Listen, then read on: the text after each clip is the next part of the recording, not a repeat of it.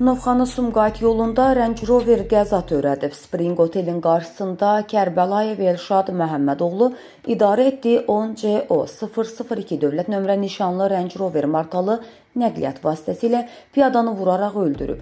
Hadisə yerindən qaçmağa çalışan sürücü daha sonra Damas markalı nəqliyyat vasitəsinə çırpılıb, zərbənin gücündən Damasda olan 3 nəfər ölüb. Sürücü Binəqədi rayon polis idarəsinin əməkdaşları tərəfindən saxlanılıb, məlum olub ki, sərxoşdur. Qeyd edək ki, Elşad Kərbəlayev Qurtuluş 93 MMC-nin rəhbəri Məhərrəm Novruzovun kürəkənidir.